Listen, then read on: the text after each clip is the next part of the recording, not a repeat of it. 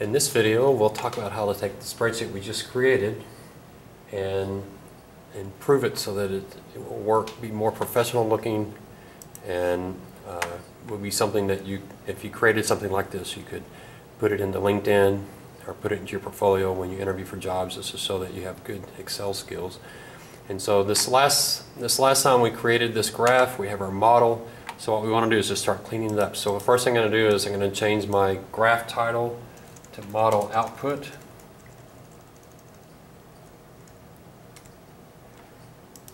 And then I'm going to move my graph, move my chart, and I'm going to call it model output graph or whatever you want to call it. Um, so I've got my new sheet here. I'm going to move that to the very end. Um, so it looks looks good. I'm going to insert some text. So just insert a new text box, just so anybody looks at this, they know the stocks up here are rich. I'm going to bold, italicize, and put it in red. Oops, that's not what I wanted in red. The letters in red. And then I'm going to increase it to much larger.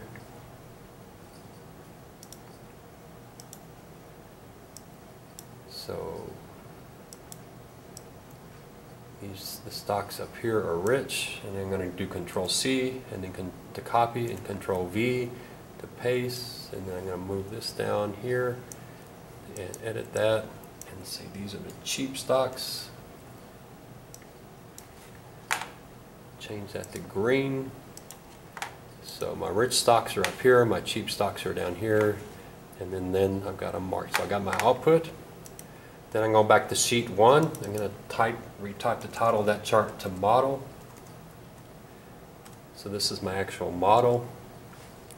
And you can notice just the titles, just clean up all kinds of things on the title. We don't, um, this regression is, is fine, summary output. You might change that to regression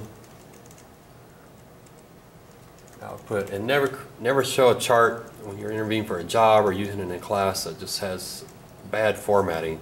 So, you know, make everything, you can click on a lot of stuff and just change it to commas. Use the comma function, just click on the comma. Um, you might increase your columns so that you can see all the words. Just everything should look nice and professional. Um, so there's your regression output. And here's here's all my data feeds. I'm going to select these columns and right click and do column width. I'm going to make them all say 25. And then the other thing, and you can notice the format here with the blue background and the white, that looks kind of professional. So I think I'm going to click on here and make them all blue like that. And then I'm going to make all the text white. I'm going to bold it all, center it all, but whatever you need just to make it look nice and professional. So now you got a very nice looking spreadsheet. And the other thing I'm going to add, I'm going to click down here on the plus to add a new sheet. I'm going to move it to the front. I'm going to make that intro. And then on the intro, I might have something that starts off by just showing you what I'm doing. So I might say this model screens for stocks in the auto industry screening from the Russell 3000 stock index. And I'm going to say factors in the model, just any of this, whatever you want to write, you just want to make it look professional. So I'm going to do factors in my model. I'm going to keep with that blue background and white text, bold, italicize, and going to say factors related to growth and profitability. And again, I'll, I'll put that in blue and white, bold, it's italicized. And my first factor we says was sales growth. You can put the title of it there and over here you can say say what it is, average three-year annual growth in sales. The next thing was gross margin. We don't need to explain that anymore. Um,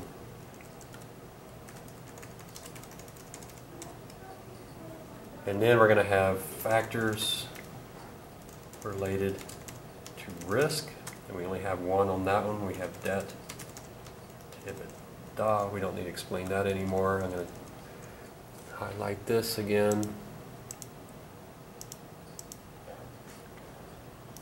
And then, um, valuation factor. Put factors.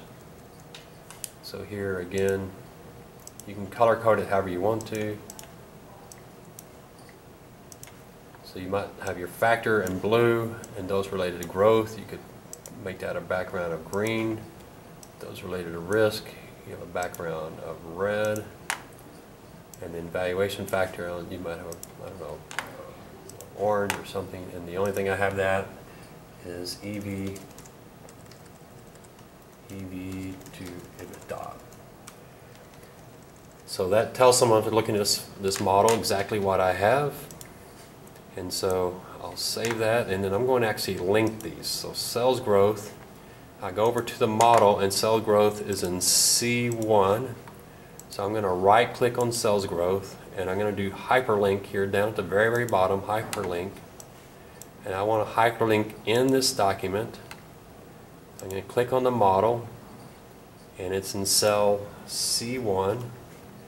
So I want to place a hyperlink and say OK.